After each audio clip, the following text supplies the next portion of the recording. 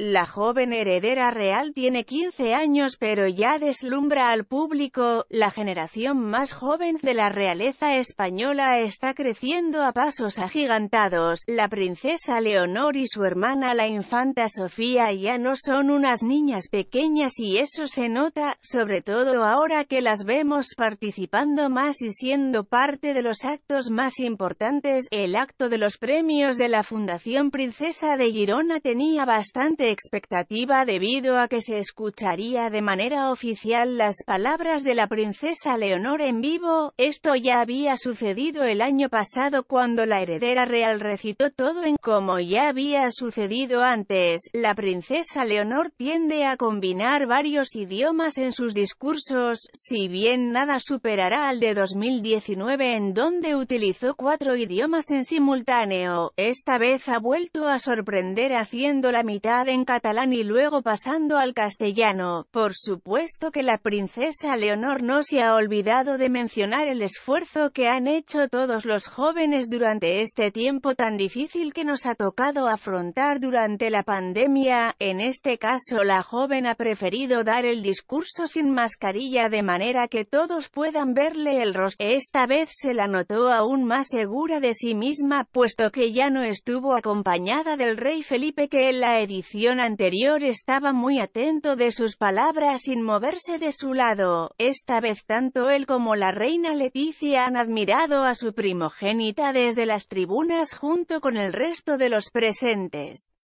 Lo que todos han destacado es la increíble dicción con la que maneja el catalán, casi sin titubear. Cataluña siempre ha sido un referente en iniciativa, creatividad y emprendimiento